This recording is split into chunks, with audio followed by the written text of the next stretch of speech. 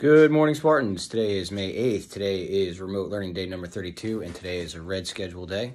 I am reporting to you live from the sixth grade house office as this is the only place uh, in the building that has tropical uh, palm trees and white sandy beaches. Thank you, Roxy, for decorating it.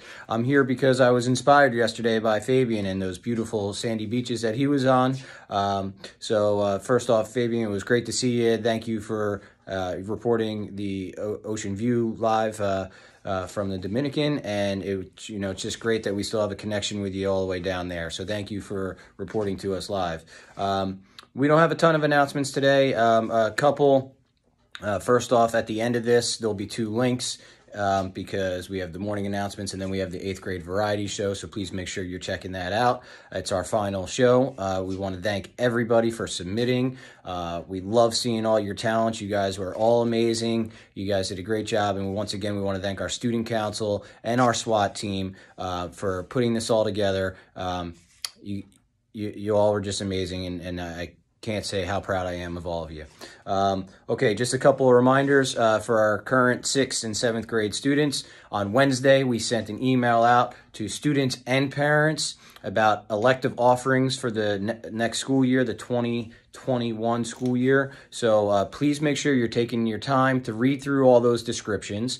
Make sure you're um, taking your time to select your priorities and then submit. Uh, submissions are due by May 15th. We're asking you to take your time because because we really can only do this one time. It's it's a long task to undo your picks. So please take your time to read through the descriptions and make your your offering your uh, your selections okay um, also we want to thank our fifth grade parents who are taking part in a survey for a potential sixth grade elective offering in future years.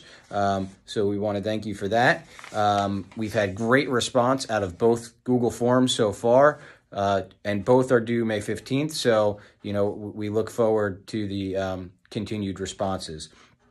Um, Today is a red schedule day again, students, so please make sure you're getting in uh, to all your classes. Classes start at 9 o'clock. We have a lot of video conferences that start at 9 o'clock, so please make sure that you're checking in with all your teachers and their video conferences. Um, I want to thank Mrs. Post's class uh, for inviting me and allowing me to be part of their their video conference yesterday. It was great to see all of our students. It was just great to hang out with them, um, you know, and if any of you are doing video conferences and you want to invite me uh, in, I'd love to, to uh, sit down and chat and, and hang out with some of our students and, and do some work, uh, you know, in your classes. So please don't hesitate to invite me. Um, I guess lastly, uh, after this post, please make sure you're checking in with Chris Morrow with our Friday Funnies segment. And as always, students, make it a great day. Be safe and be well.